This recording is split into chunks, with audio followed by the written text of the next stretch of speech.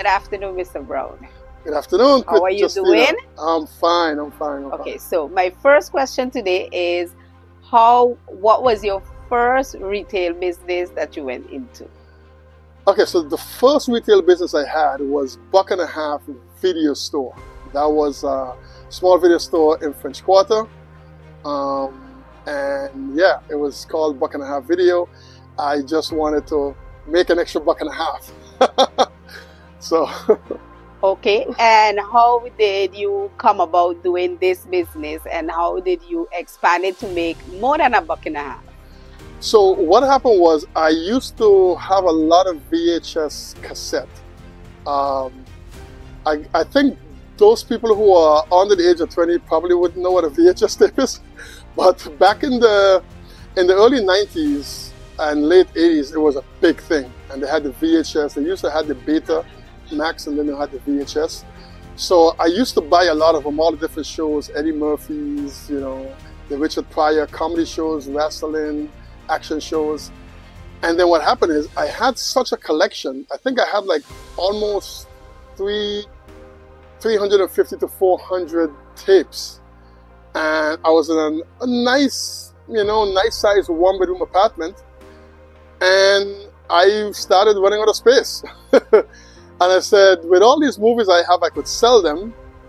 But then if I sell them, it's just a one time sale and then they use. People don't want to buy used VHS tape because they could be tangled up, they could be worn out, they could be damaged on the inside. So what I'll do, I'll just I'll just rent them for a dollar fifty a piece, and you know, and I'll just call it. So you, I, I couldn't really call it a dollar fifty video, so I went oh a buck. At the, the same time, I think fifty cents was just kind of starting to make a name for himself, and I was like, okay, he's fifty cents, I'm a buck and a half. so that's how the name came about, buck and a half video, and then so I I this was in French Quarter, so there was a retail shop, there was a retail space on the other side. They had laundry, um, I think they had a bakery, you know, little things. But there was an empty space, and I think I got a space for like $350 a month. And so that was uh, by Harry, Har- Harry Arnell. And so I rented the space. It was like first month deposit, uh, security deposit, and then first month rent and security deposit. So I said, fine, you know, and I rented the space and I, I say buck and a half video. I'll rent the videos for a dollar fifty, which is a buck and a half, and I'll call it buck and a half video. That was it. Okay, and um, after you established the business, where did the business go from there? And what So- was the conclusion of this business? So what I did after I opened the, the, the business, I was busy with some other stuff. So I hired um, some of the young kids that was hanging around. So I had Ives work for me. I had um, had another kid. Gosh, I forget his name. He was from Dominica originally, and he grew up in French Quarter. Eddie, I think his name was. Yeah, Eddie. So I had Ives. I had Eddie. Then I had Brian. Um, Brian came later on the later end, and then my girlfriend at the time, Heather France, she also used to work for for, for me as well. And so, because it was like a little part time, you know, kind of thing. And then new movies went for like two dollars or two dollar fifty, but all of the you know the old show that I had was a buck and a half, and it did pretty good. So three of the local kids. Oh, Ikmar also used to help out, but he was like ten years old. He used to come around, hang around the video store, and actually his his dad was my landlord um, in the apartment, and so I said, you know, when you come over here, you got to do something. You can't just come over here and hang out in the store and don't do anything. So when he come over, I used to have him um, pack the movies back on the shelf that people returned. And and he still works for me today also. Now he's a grown man. I think he's almost 40. Um, but back then he was like 10 years old. So we're talking 30 years ago. yeah. And then Brian also still worked for me. I've worked for me for a long time. And then what I ended up doing, I think I had the store for like three or four years. And when I wanted to get rid of the store, I was going to close it down because things just, started to kind of slow down after a while. And then DVDs had started to come in slowly. And um, so there was a big conversion.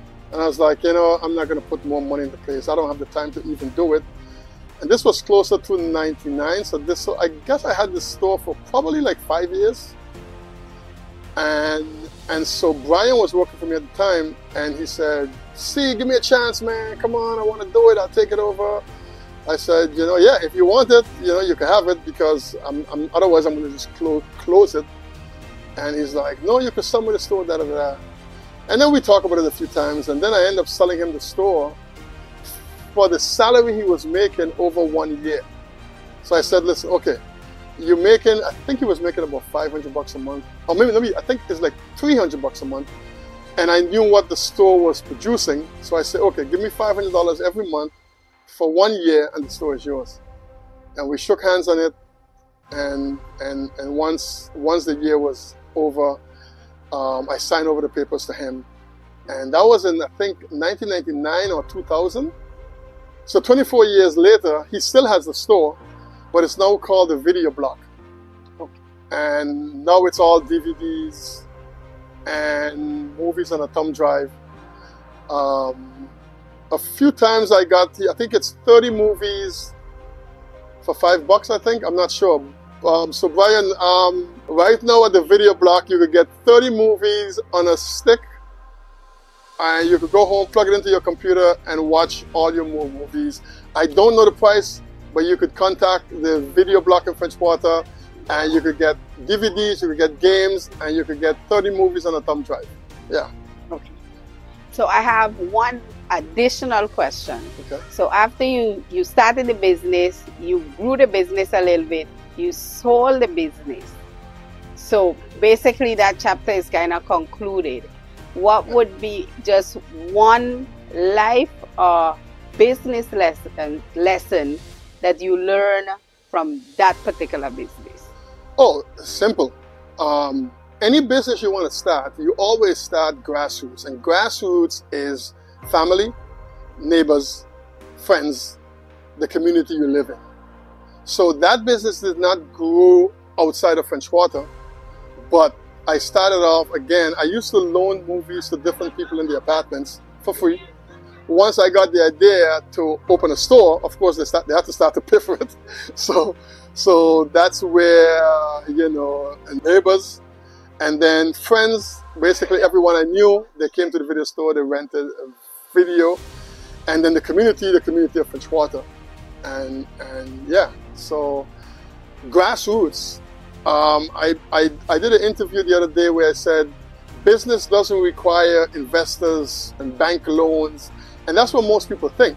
So basically, that business was born from my bedroom with my my excess of VHS tapes, and for space, I didn't have to keep collecting them.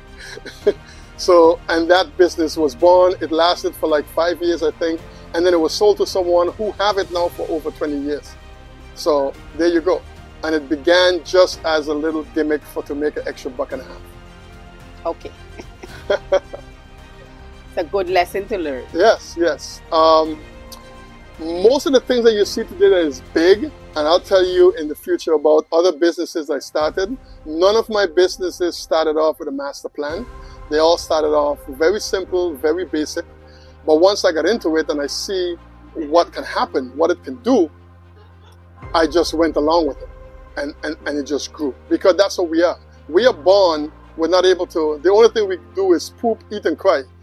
And then we learn to do everything else. We learn to crawl, we learn to walk, we learn to touch everything and drag things off the table and break them and, and scream. And, and then we learn to, to, to eat hard food and we learn to party ourselves and we learn to do everything.